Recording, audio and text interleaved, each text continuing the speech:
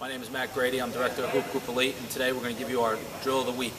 Today we're going to show you a drill called three twos and ones. It's a drill from Coach Pitino that's been made famous over the years. Many of his assistants use it, individual instruction, almost every day with our with our team when I was working with them.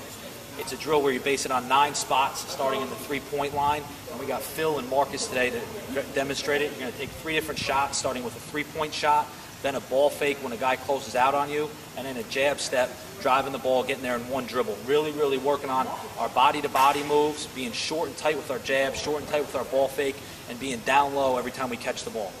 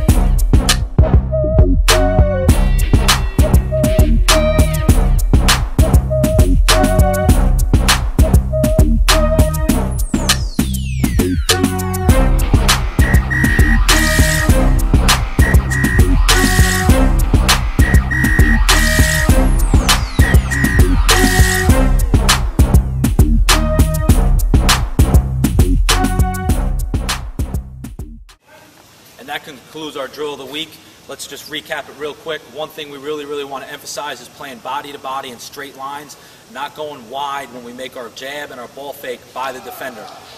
One, two step into every shot, being down low, going small to tall, reaching up and finishing high with both hands together.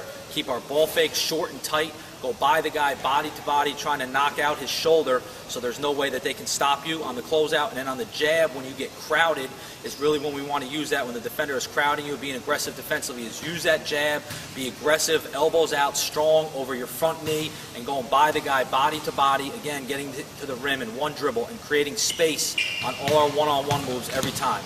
And that's our drill of the week. Follow us on Twitter, Facebook, and www.hoopgroup.com. Thanks so much, and we look forward to seeing you again.